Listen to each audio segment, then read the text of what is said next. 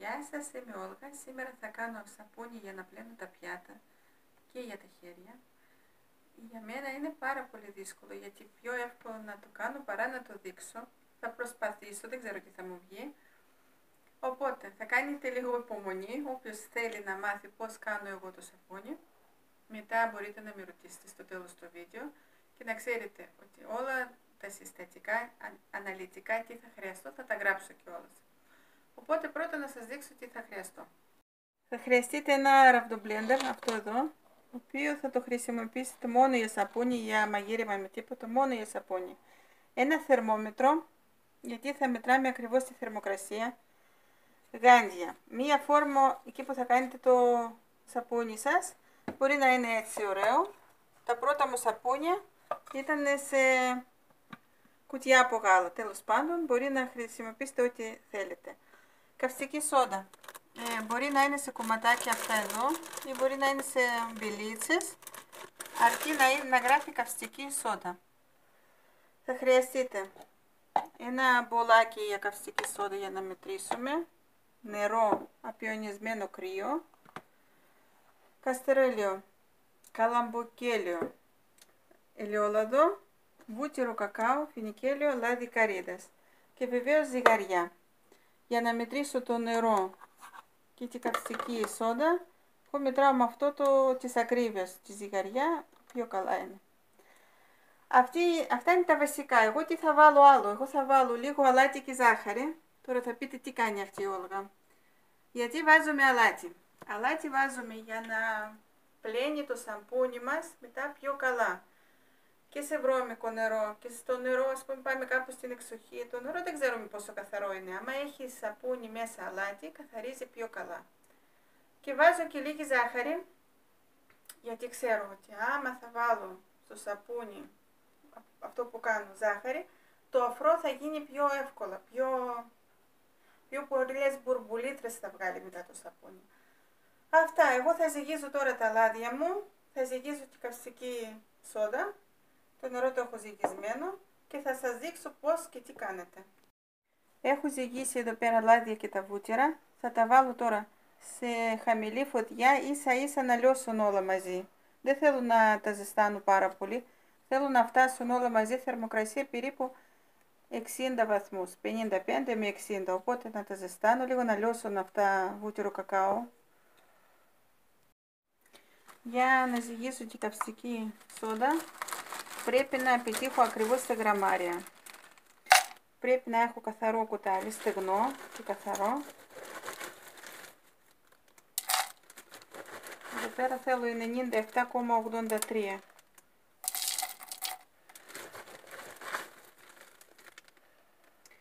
Να προσέχετε πάρα πολύ καλά, γιατί άμα θα πέσει τώρα νερό εδώ πέρα, αρχίζει να ανεβάζει θερμοκρασία. Κανονικά πρέπει να το κάνουμε αυτό έξω στο μπαλκόνι. Απλά με το βίντεο πάρα πολύ δύσκολο, δεν ακούγεται τίποτα. Οπότε το κάνουμε στην κουζίνα με ανοιχτό παράθυρο.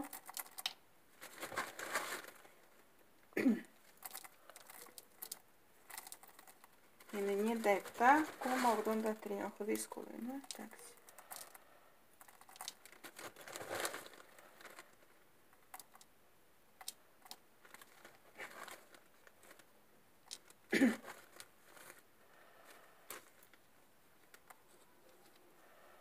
Τέλεια.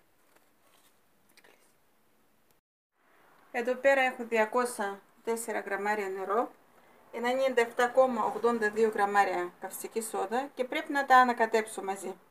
Έτσι απλά δεν γίνεται. Τι θα κάνετε; Θα βάλετε κάπου το, το βάζο με το νερό. Θέλει κρύο νερό γιατί ανεβάζει θερμοκρασία. Δίπλα βάζω το νερό να κρυώνει το βαζάκι αυτό. Είναι κρύο νερό. και θα βάζω σιγά σιγά την καυστική σόδα μέσα στο νερό. Δεν θα βάζω όλα μαζί. Θα ανακατέψω σε ένα λεπτάκι με ένα άλλο κουταλάκι στεγνό θα βάζω το υπόλοιπο. Αυτό τώρα τι γίνεται. Αλλάζει το χρώμα. Πρέπει να διαλυθεί όλο. Θέλει χρόνο. Αυτό θέλει λίγη υπομονή.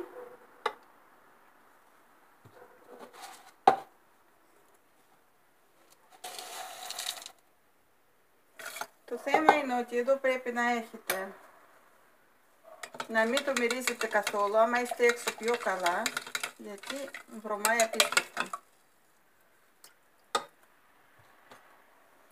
Μόνο με στεγνό κουταλάκι. Μπαίνω μέσα εδώ πέρα.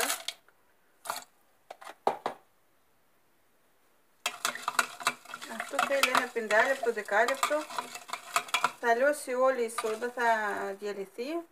Πιο καλά, πιο πολύ μου αρέσει με κουταλάκια. Με μπελίτσες η σόδα όταν είναι. Αλλά και αυτή είναι καλή.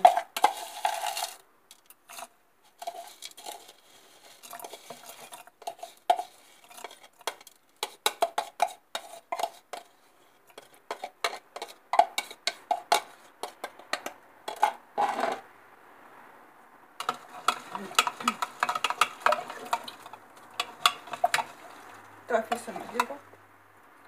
Τα λάδια έχουν λιώσει, τώρα θα μετρήσουμε τι θερμοκρασία έχουν φτάσει. Να ξέρετε πάντα ότι η θερμοκρασία καυστική σόδα και λάδι πρέπει να είναι ίδια. Το πολύ δύο βαθμούς διαφορά. Αλλιώς μπορεί με όλη την καλή και τέλεια συνταγή δεν θα σας βγει τίποτα καλό. Οπότε, ζεστάθηκαν πάρα πολύ τα λαδάκια μου. θα περιμένω να κρυώσουν μέχρι που θα κρύωσουν τα λαδάκια, θα κρύώσει και αυτό τώρα, μισό λεπτάκι. Να δούμε τι θερμοκρασία έχει εδώ. Εδώ γύρω γύρω το νερό είναι κρύο και μέσα είναι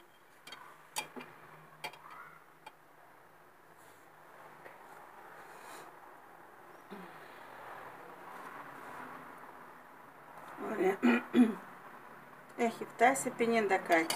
Είναι μια χαρά, πρέπει να κρυώσω λίγο τα λαντάκια μου. Εγώ πάντα έχω μια παλιά πιτσέτα έτσι να μην χαλάσω την κουζίνα μου. Θα κρυώσουμε λίγο και τα λαντάκια με το ίδιο τρόπο.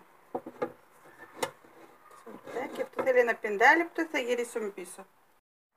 Τα λάδια μου και η καυστική σόντα έχουν φτάσει στην ίδια θερμοκρασία, 46 βαθμούς. Εγώ τώρα τι θα κάνω; Λίγο φόρυβο θα έχει, αλλά δεν πειράζει. Τώρα βάζουμε καυστική σόδα μέσα, μέσα σε λάδια.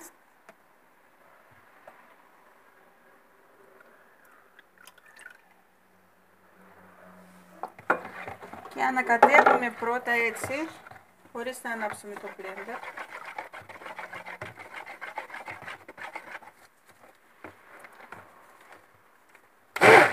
Μετά λίγο με το blender, μετά πάλι χωρίς.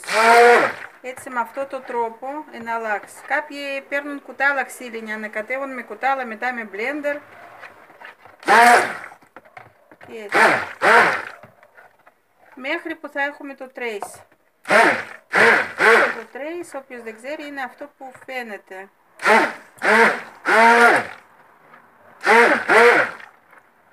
Λοιπόν, περίπου 3-4 λεπτά, λεπτά αυτή τη διαδικασία κρατά, οπότε θα συνεχίσουμε σε λίγο.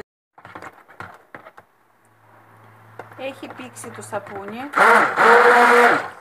αλλά δεν έχει ακόμα αυτό το trace που θέλω. Τώρα σε αυτό το στάδιο θα βάλω το αλάτι και τη ζάχαρη. Δεν θέλω τίποτα, απλά έτσι, για να προλάβω να ανακατέψω. Δεν θα βάλω τίποτα μυρωδικό. Γιατί, γιατί το ελαιόλαδο το δικό μου το καλοκαίρι ήταν μαζί με το φλαμούρι και μυρίζει απίστευτα. Δεν θα χρειαστώ τώρα ηθερέλια και μυρωδικά τίποτα. Από μόνο το μυρίζει πολύ καλά το ελαιόλαδο. Και αυτή η μυρωδιά πιστεύω θα κρατηθεί λίγο στο σαπούνι.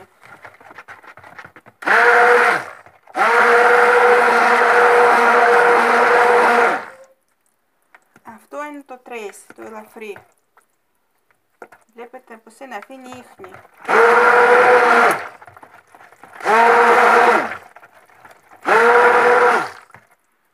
Ωραία, τώρα σε αυτό το στάδιο θα το βάλω στη φόρμα.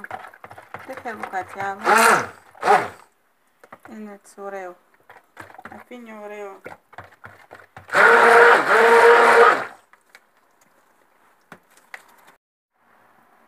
Το σαπούνι αυτό έχει πήξει αρκετά καλά.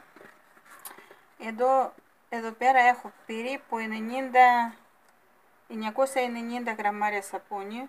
λιγότερο από ένα κιλό. Θα το χτυπήσω τώρα λίγο. Άμα δεν χτυπήσετε καλά, θα, μείνω, θα μείνει αέρας μέσα και μπορεί μετά να σπάει το σαπούνι ή να μένουν κάτι κομματάκια αέρα μέσα. Δεν το θέλω, θέλω να είναι έτσι ίσιο. Δεν θέλω τίποτα ούτε για κοσμητικό γιατί είναι για τα πιάτα. Θα το σκυπάσω και θα το κλείσω λίγο. Μπορείτε να πάρετε μια παλιά κουβέρτα, μια παλιά πετσέτα, κάτι. Το σαπουνάκι αυτό σαν ένα μικρό μωράκι να μην μας κρυώνει. Θα το αφήσω εδώ σε μια γωνία του σπιτιού μέχρι αύριο. Περίπου 24 ώρες θέλει να περάσει το στάδιο του τζέλ για να μπορώ να το κόψω και να σας δείξω μετά. Αυτό μέχρι αύριο δεν το κουνάω, το αφήνω στην ησυχία του. Τα λέμε αύριο. Πέρασαν περίπου 20 ώρες για να δούμε τι έγινε με το σαπούνι μου. Από ό,τι φαίνεται πάγωσε πολύ καλά. Αυτά τα κομματάκια που βλέπετε σαν μπιλίτσες είναι από αλάτι. Τώρα θα το κόψω, θα σας δείξω πώς είναι. Λοιπόν, μένα μου βγήκαν 9 πάρα πολύ ωραία κομματάκια. Τα έχω κόψει έτσι να βολεύομαι να κρατάω στο χέρι. Άμα δεν θα είχα βάλει αλάτι, ήταν ομοιόμορφο, είναι, θα ήταν ένα χρώμα χωρίς μπιλίτσες. Μπιλίτσες αυτές είναι από αλάτι. Άμα δεν ξέρετε θα σας πω πώς τα κρατάτε. Ε, 4 με 6 εβδομάδες πρέπει να οριμάσει το σαπούνι και πρέπει να, να το κρατάτε πάνω σε ένα ξύλο ή πάνω σε ένα χαρτόνι με να μην ακουμπάει ένα κομμάτι το άλλο, να αερίζεται, δηλαδή έτσι, κάπως έτσι. Πάρα πολύ βολεύει άμα έχετε κανένα κουτιά από παπούτσι με τρύπες. Πάρα πολύ και στη δουλάπα. Δεν παθαίνει τίποτα. 4 με 6 εβδομάδες θα το κρατήσετε να γράψετε απλά ημερομηνία πότε πρέπει να το βγάλετε να αρχίσετε να χρησιμοποιήσετε και φυσικά τι σαπούνι κάνετε. Εγώ θα σας δείξω, έκοψα ένα κομματάκι από την άκρη, τι αφρό θα βγάλει. Βέβαια είναι πάρα πολύ νωρίς, αλλά έχει γίνει το σαπούνι, όπως βλέπετε, όπως το ήθελα, με πάρα πολύ αφρό. Είναι τέλειο και για τα χέρια και για τα πιάτα. Αυτά ήταν για σήμερα. Ό,τι θέλετε θα με ρωτάτε. Γεια σας και τα λέμε.